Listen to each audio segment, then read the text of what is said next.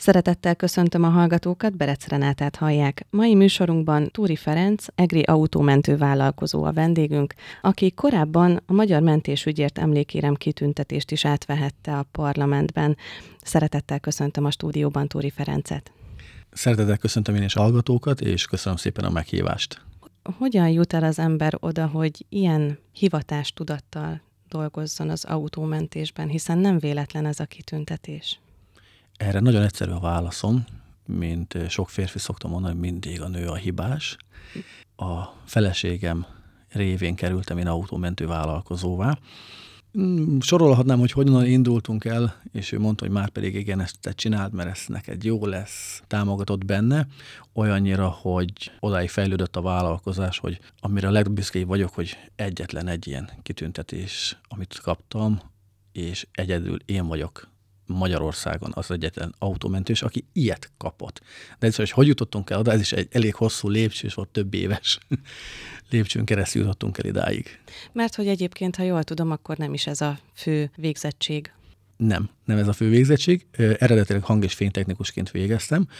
A éjszakázás nem nekem volt való, én úgy gondoltam még a 20 éves koromban, hogy éjszaka bulizni kell, nem pedig dolgozni elindultam teljesen más pályán, még az autómentéshez sem volt semmi köze, teljesen más ilyen pénzügyi szférában dolgoztam, és utána azt abba hagytam, mert hogy nem akarok emberekkel foglalkozni, van teljesen mással akarok foglalkozni. Így elkezdtem így autókat szállítgatni külföldről Magyarországra. Egyik barátom mondta, hogy nem segítenék néha be nekit Egerbe, mert hiánycik vagyok, úgymond.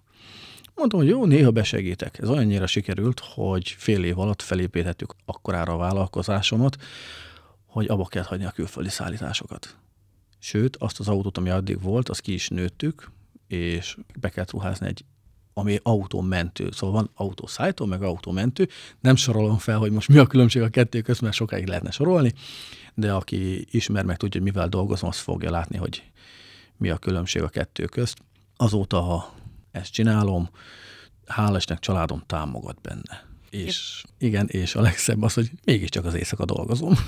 Is, ez éjszaka is, mert hogy egyébként elég sok helyen ott van. Abból a szempontból mégiscsak érdekes, hogy mi a különbség a, az autómentő és az autószállító között, hogy mi szükséges ahhoz, hogy valaki autómentő lehessen az emberen túl a gépet tekintve. Most már jogszabály mondja ki, hogy mi az autómentő, ha kell, akkor fel is tudnám sorolni, hogy körülbelül, hogy milyen paramétereknek kell megfelelni, szóval három és fél tonna ösztömeget meg kell, hogy haladja az a jármű, amivel dolgozunk. Azután van az, hogy hidraulikus platóval, ez úgy kell elképzelni, mintha a sütőben, amikor kiveszi az ember a naptepsit, és akkor az így lejön így a, a földig. Darúval, illetve emelő villával kell, hogy rendelkezzen. Ez a járműnek a alapkövetelménye. Aki dolgozik rajta, annak meg még elég sok minden itt a fuvarozási engedélytől kezdve különböző szakvizsgákig. Nem árt, hogyha a hivatásos jogosítványból is már egy PÁV 2 minősítéssel rendelkezik. Öt évente van ezért egy vizsga, amit mindig nekünk meg kell hosszabbítatni. Emellett két évente egészségügyi, orvosi vizsgálat, ha a pályalkalmasági vizsga lejár, akkor az két évente azt is újítani kell. Említette, hogy a felesége volt az iránymutató ebben, de mégis hogyan indult ez az egész, hogy hogyan lett autómentő vállalkozó?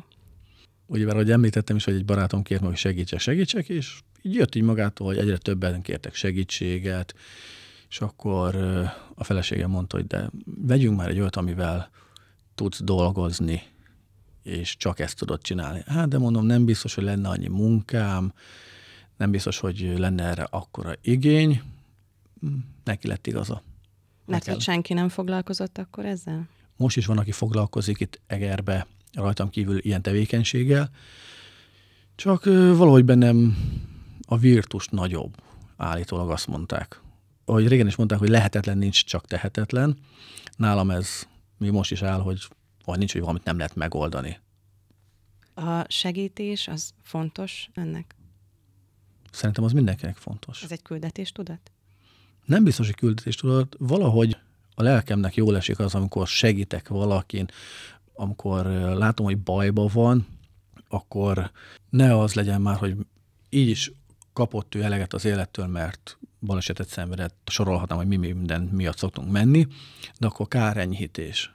hogy vannak olyanok, akik itt turisták nálunk Egerbe, összetörik őket, nem ők a hibások, minden, és megmondom nekik, hogy ne vigyük haza. Az autó nem ér annyit, hogy elszállítsuk nektek, ahol ti laktok. Anyagilag én jobban járnék, de nektek nem jó. Hozzuk be nekem telephelyre, a biztosítónak megadjuk a címet, hogy itt meg lehet tekinteni az autót, és itt minden ügyintézést meg tudnak csinálni, ne kerül nektek még plusz költségbe, mert egy balesetnél azért nem úgy van, hogy holnap már jön a biztosító, lefényképezi, és már fizet is. Azért van itt hónapok, hogyha sérülések, ilyen fél éves intervallum is eltelik, mire a biztosító ebből kárrendezést csinál. Addig az ügyfélnek úgymond a pénze benne áll. Mai világban azért szerintem mindenki pénzérzékeny, és nem biztos, hogy ilyen több százer forintot csak úgy kifizet, és majd tudja, hogy oké, okay, visszakapom pár hónap múlva. De mennyivel jobb az, hogyha az autómentő telepén ott áll az autó, oda kimegy a biztosító, megtörténik a kárszakértés, és ott 30 napot nekünk a biztosító kifizet, hogy mi tároljuk az autót. 30 nap fölött a jó szívem mindig az, az diktálja, hogy gyerekek, eddig is elfért, hagy maradjon, majd akkor jön a roncsfelvásárló és elviszi. Na és itt van a kulcs, hogy a jó szív, erre próbáltam kiukadni, hogy, hogy azért ehhez a, a munkához, ha még egy ilyen is társul, szerintem az már, az már kuriózum. Ha az ember valamit szívvel csinál, akkor az már nem a munkája, az már a hivatása. Én valahogy az van benne, hogy én szeretek segíteni. Így hozta az élet. Hogy miért, azt nem tudom, de így hozta, így is érzem jól magam mindennapi szinten kapcsolatban vagyok különböző szervekkel, itt a katasztrófavédelem, tűzoltóság, mentős fiúkkal, nagyon sokat beszélgetünk. A mentőségnek köszönhetek olyan dolgokat, hogy megtanítottak, hogy kell egy balesetet úgy átvészelni szellemileg, hogy az ne tegyen úgymond tönkre. Szóval, hogy ne fogjam fel azt, hogy most ott mekkora tragédia történt, hanem úgy próbáljam úgy elvonatkoztatni a munkát a magánélettől, mert hogyha a kettő össze fog folyni, azt mondták, hogy tönkre fogok menni, és mai napig is ővelük olyannak kapcsolat, hogy baráti, családi viszonyt ápolunk. Igen, erre pont rá akartam kérdezni, hogy őket egyébként erre oktatják, hogy hogyan lehet ezeket feldolgozni, viszont önnek ez nem volt meg. Egyébként a mindennapokban ezt hogy sikerül feldolgozni? Le tudja tenni a munkát? Ott tudja hagyni az adott helyszínen, vagy, vagy ezt hazaviszi az ember? Nem, nem viszem haza, mert nem szeretném, hogy a családom ebből bármit is érzékeljen. Ők lassan már ott tartanak, hogy semmilyen híradást nem néznek, mert a kisfiam is volt már rá többször példa, hogy bekapcsolva maradt a híradó, és akkor apa van a tévébe. És akkor mondtam, hogy neked ezt nem kellene nézni, meg ilyesmi. És akkor így szétszettük azt, hogy a, a munka odáig tart, amíg a telephelyen én leteszem az autómat, hazamegyek, onnantól kezdve ugyanaz a családapa vagyok, mint bárki más, ugyanaz a férj, nem, mondjuk nem ugyanaz vagyok, mert kicsikét szétszórt vagyok, de így szeretnek a családom. Vállalkozóként van-e határvonal, szabott a határvonalat a munkaidőben? Hol van a kezdet és hol van a vég? Van szabadidőm, sőt, mi több szabtam is határokat, az pedig úgy néz ki, hogy január 1-je 0 órától december 31 0 óra 0-0 percig van a, ez a határ. Egy autómentő mindig 0-24 órás, de ez nem azt jelenti, hogy nem pihenek. Le tudom tenni a munkát, erre a drágám tanított meg, hogy hogy kell letenni a munkát, és akkor abba az egy hétbe, vagy x napba, akkor csak velük foglalkozok. Telefonomat átirányítom kollégára, ő rendez mindent, ő intézi az ügyeket, addig én teljes mértékben kikapcsolódok. Volt ilyenre példa, hogy mentünk pihenni, és az autópályán történt egy baleset. És drágám azt látta, hogy én húzódok lefelé, és te mit csinálsz? Mondom, szívem, segíteni kellene. De majd jönnek, mondom, most. Addig gyorsan én lebeszélek mindenkivel mindent, rendezem a dolgokat, jönnek a mentősök, tűzoltók, rendőrök, bárki, autómentő, de mondom, pár perc csak néz rám, úgyse bírod megállni hogy menjél. Akkor tehát egyébként ebben nincs megállás. Ilyen téren nincs. Szóval, ha látok valami gondot, akkor fel tudom mérni azt, hogy már van segítség, vagy szükség van. Természetesen, hogyha előttem történik, vagy a tükörből látom, hogy mögöttem történt, akkor meg fogok állni. Ugyanúgy, mint hogyha én úgy szoktam mondani, hogyha rakott vagyok, szóval a, egy ügyfélnek az autója rajta van az én autómentőben, és valakit látok, hogy ott kalimpál az útszélén, vagy fogja a fejét, mert győzölök az autója, meg fogok állni és segítek neki. Ha másban nem is, de abban, hogy valaki jöjjön érte, vagy a megfelelő hatóságokat értesíteni, abba segítek. Említette, hogy van egy, egy valaki, aki ilyenkor kisegíti, mikor elmegy pihenni. Hányan dolgoznak egyébként ebben? Hány ember kell ehhez? Összesen vannak ketten esetleg, egymást váltva? Hárman vagyunk. Van egy állandó munkatársam, és van úgymond egy kisegítő, egy ilyen beugrós emberem, akire bármikor bármit rá tudok bízni. Ő az, aki, hogy én nem vagyok, akkor ő beúrik helyettem, és akkor úgy mondom, hogy mindig két ember van szolgálatba. Ha én pihenek, akkor is két ember van szolgálatba. És ők egymást tudják váltani, vagy egyszerre akár tudnak ketten is menni balesethez, vagy bármilyen segítségnyújtáshoz. Bármikor hívhatják éjszaka is, ez azt jelenti? Csak ne költsenek fel. Le, igen. Ahogy mondtam is, az autómentés az 0-24 órás. Aki úgy gondolja, hogy ő reggel 8 és délután 4 köz dolgozik, az nem autómentő. Az utaknak szabadoknak kell lennie. Itt Egerben is tapasztaljuk, hogy nagyon nagy az átmenő forgalom. Környéken lévő kisebb utakon, itt Szarvaskőt kiemelném, ott is nem lehet azt megcsinálni, hogy egy baleset miatt nagyon hosszú órákon keresztül le legyen zárva az út. Annyira fel kell szabadítani, hogy legalább egy-egy sávon oda-vissza felváltva, de tudjon működni a forgalom. És utána, hogy mi ott még hogyan is, hogy oldjuk meg a kár enyhítés, az már mi dolgunk, de a forgalomnak mennie kell, mert nagyon hamar be tud dugulni teger nekünk. Hogyan megy ez a folyamat, hogy ki jelez önnek elsősorban, és mennyi idő egyébként mondjuk egy ilyen autómentés? Tehát onnantól, hogy megtörtént a baleset, addig, amíg a kárenyhítés megtörténik. Ügyfél hív mindig minket. Általában már tudjuk, hogyha ügyfél felhívott, vannak különböző ilyen applikációk, segítségek, elektronikus dolgok, amin látjuk, hogyha valahol baleset történt, hogy ott mekkora torlódás, és akkor ő mondja, hogy ő balesetet szenvedett itt és itt.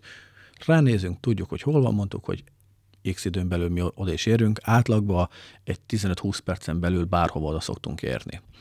Amikor megérkezünk egy ilyen baleset helyszínére, általában úgy próbálunk helyezkedni, hogy a többi társ szervet ne zavarjuk. Ha látjuk, hogy jönnek a mentők, tűzoltók, bárkik ott vannak, akkor úgy parkolunk mi a saját teherautóinkkal, hogy ők elférnek. Elsődleges mindig az emberi élet, meg annak a mentése. Szóval, ha látjuk, hogy baleset van, jön a mentőszolgálat, akkor nekik utat biztosítunk, esetleg van, volt már a példa, hogy irányítottuk a forgalmat, és addig, hogy ők tudjanak megfelelően dolgozni. Rendőröknek segítünk, ővelük úgy van a, egy ilyen helyszín, hogy megérkezünk, jelentkezünk, hogy sziasztok, megérkeztünk, mondták, hogy jó, rendben van, ők megcsinálják a saját munkájukat, és szólnak, hogy figyelj, Ferike, most lehet az autóhoz hozzányúlni, és akkor mondtam nekik, hogy jó, rendben, egy 10 perc kell nekem, hogy az autót én letakarítsam az útról.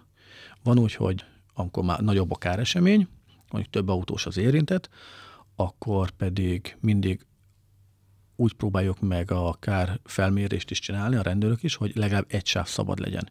És akkor szólnak, hogy figyelj, ezt az autót, ezt lehelyszíneltük, álljál ide, ezt vedd föl, tedd ki oda az út szélére, vagy addig vidd el, még a másik kettővel, vagy egyel foglalkozunk. Náluk is az az első, hogy minél hamarabb a forgalom meg tudjon indulni. Mert mindenkit hazavárnak, mindenki siet. Rohanó világot élünk említette a jó kapcsolatot a különböző szervekkel. Honnan van ez a jó kapcsolat? Nyilván az adott esetek alkalmával ismerkednek meg, de az országos mentőszolgálattal például kifejezetten szoros. Az, az a nagy büszkeségem és a szívem csicske, ezt mindenki tudja a mentőszolgálatot. Körülbelül olyan 7 évvel ezelőtt volt egy mentőautó Egerkeret közt lerobbanva.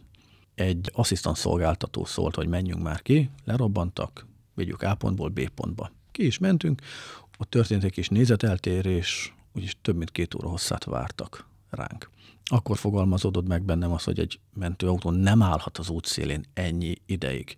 Hazajöttem, úgymond kísírtam magam az asszony vállán, hogy mi történt, és mondtam, hogy én valahogy segíteni akarok nekik. Mondta, hogy szívem, rád van bízva.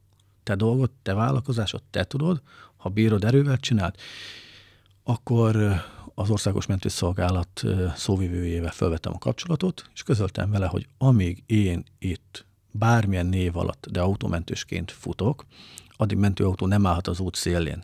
Ingyen bérmentve be fogom őket szállítani. És mondta, hogy na jó, ne viccelődjünk már. Elkértem tőle egy címet, írásba adtam, ők ezt feldolgozták, összehoztak itt a helyi mentőszolgálat irányításával, vezetésével, műszaki vezetőjével, és mondták, hogy most ez Feri, komolyan? Na, igen. Biztos? Na, igen. Na jó, legyen. Nem hitték el. Jött egy eset, szóltak, hogy hát tudnék-e segíteni, erről van szó.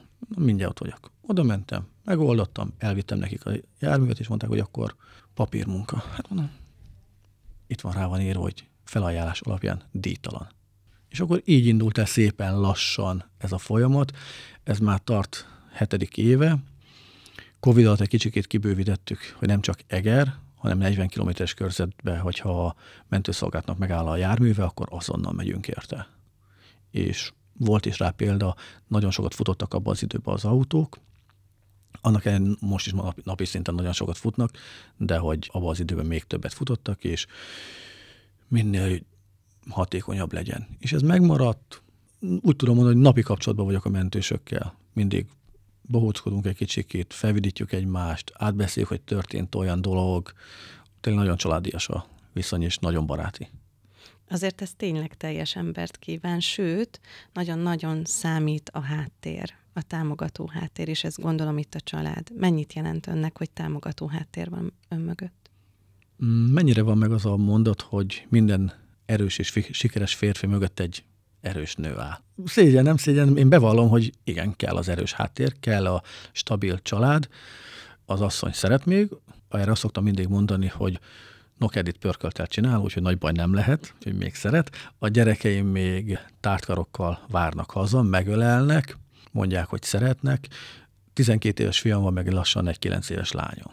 A fiú is még megölel, apa szeretlek, odabújik még hozzám, és ez szerintem ettől nem kell. Ez büszkeséggel tölti el őket is, nem? Tehát, hogy apára fel is tudnak emiatt nézni, sőt, a feleségéről is elmondható ugyanez.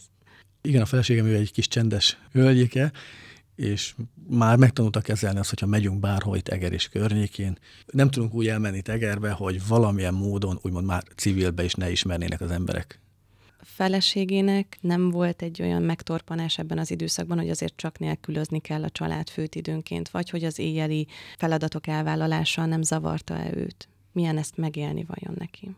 Eleinte kicsit nehéz volt neki kezelni, mert amikor jött egy riasztás, akkor ő is felébredt arra, hogy úgy kimászok az ágyból, készülődök és megyek. Most már van úgy, hogy fel se tűnik neki, hogy úgymond lelépek egy pár óra hosszára, de azért mindig reggel, amikor felébred, átbeszéljük, hogy na, mi volt éjszaka, hogy merre jártam, de sosem kérdezi meg azt, hogy milyen baleset volt. Csak az, hogy merre jártál is, de soha nem kérdezi meg, hogy mi történt. Ezzel ő magát védi? Mármint nem szeretne belevonódni a baleseteknek a világába, gondolom. Szerintem nem szeretném, mert egyszer kíváncsi volt, hogy milyen egy ilyen. Hát mondom, szívem, nyitom a jobb oldali ajtót, ülj be mellém, és gyere, velem nézd meg. Eljött, végigcsinálta velem, hazérkeztünk, mondta, hogy soha többet. Mert ott ugye van úgy, hogy látunk olyat is, amit nem kellene, és ezt ő mondta, hogy ő ezt nem akarja. Nem akarja látni. Nem is akar róla tudni, hogy mi történt. És hogyha nem vele beszéli meg, akkor kivel tudja megbeszélni? Hogyan zajlik a feldolgozása ezeknek? Még mindig csak sajnos vissza kell, hogy térjek a mentőszolgálathoz. Az ottani fiúkkal, azzal a vidámsággal, ott ugye kicsit megpróbáljuk oldani a feszültségeket, ővelük van ez az átbeszélés. Minden. Nem tudok olyan problémát mondani, amit nem lehet ővelük megbeszélni. Leülünk egy asztalhoz, egy kávé mellett, ketten, három, négyen, öten, mikor menjen, tizen, egy jót beszélgetünk, és így kijön az emberből, tapasztalatokat cserélünk, még a édesanyámmal sem beszélem meg ezeket, mert édesanyám ő azt mondta, hogy ő nem akarja látni, hogy én mit csinálok. Mert mondta, hogy ő ezt nem bírja.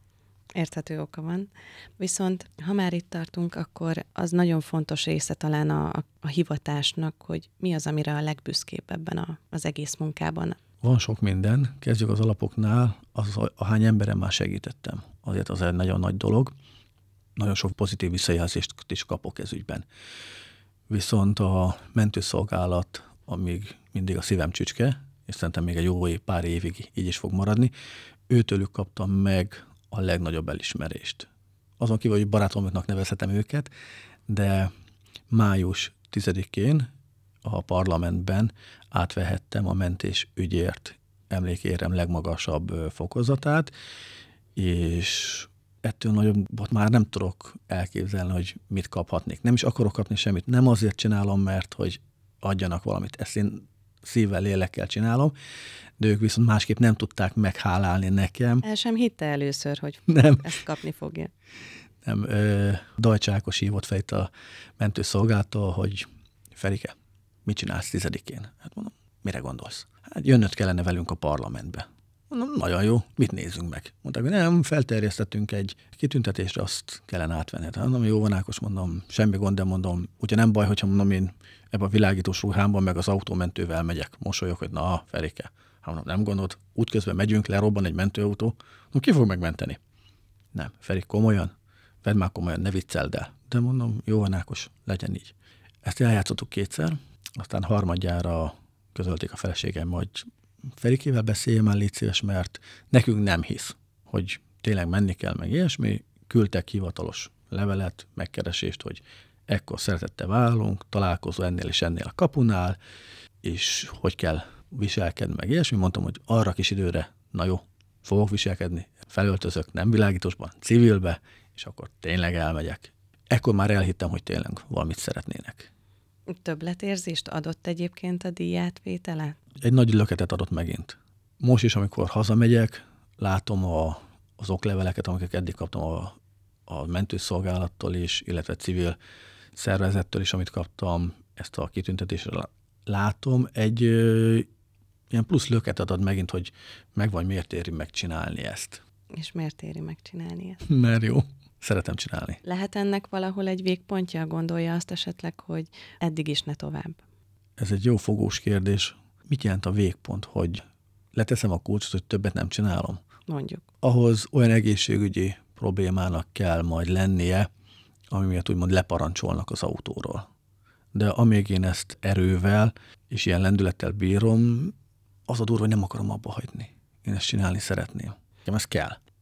Szokták mondani, hogy még a szakembereknek is mondjuk a, az orvoslásban dolgozóknak, akik mondjuk halálesetekkel találkoznak, érdemes lehet időnként felkeresni pszichológust, aki, aki tud segíteni. Ön érezte el valamikor azt, hogy lehet, hogy most nem ártana megkeresnem valakit, vagy azzal, hogy kibeszéli, ezzel, ettől meg is szabadul, és úgymond fel tudja dolgozni.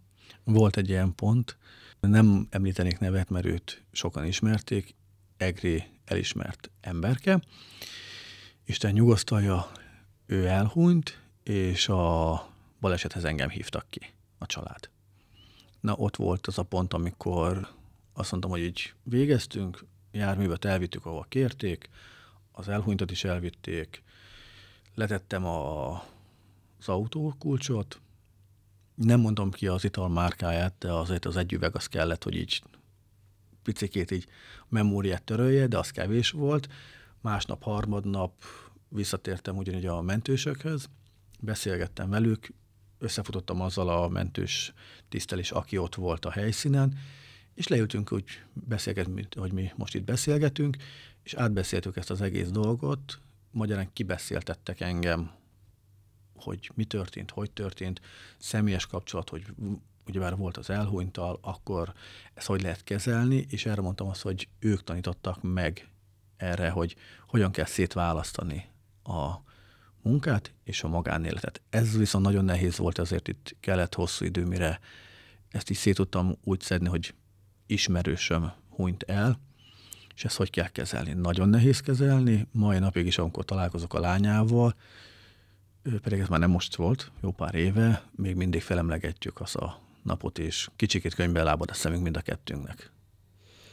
Szeretnie, vagy lehet-e mondjuk a kapacitást bővíteni, akarja-e bővíteni egyáltalán, vagy ez így, ahogy van, jó, vagy vannak-e esetleg tervek arra vonatkozóan, hogy mit lehetne másképp csinálni?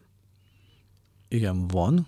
Kapacitást nem szeretnék bővíteni, mert úgy gondolom, hogy ehhez a minőséghez, amit én most csinálok, ehhez én így kellek, és nem szabad úgymond külső olyan alkalmazottokat foglalkoztatni, akiben nincs meg ez a habitus, ez a vérmérséklet, itt szívvel, lélekkel kell csinálni, mert csak úgy tud segíteni az ember.